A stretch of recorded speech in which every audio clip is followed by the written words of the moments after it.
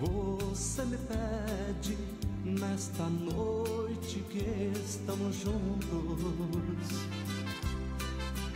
Que eu fique, que faça você feliz. Peço desculpas, mesmo chorando, eu abro a porta. O seu destino, infelizmente eu não fiz. Agora resta partir.